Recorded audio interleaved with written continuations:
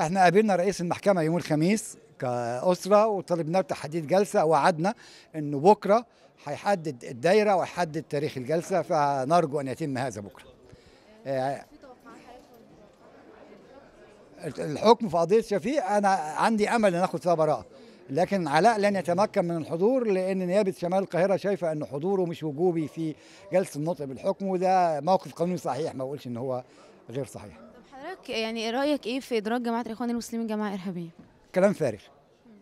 وهلاوس لحسام عيسى والببلاوي لا يوجد سند قانوني لهذه الهلاوس.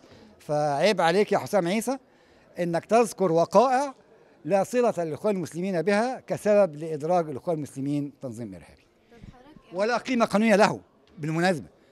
يعني اللي عملته الحكومة لا قيمة قانونية له. مكانه مزبلة مش التاريخ بقى أي مزبلة في أي حارة في الشارع.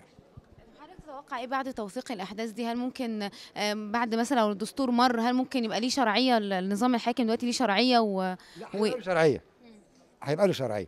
وهنظل في صراع الشرعيات لحد ما آه، الثوار يحكموا.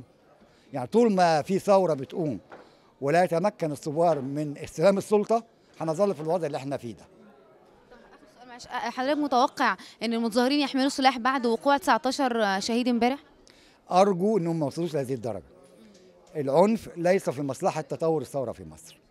انظروا إلى العنف في سوريا عمل إيه أرجو ذلك.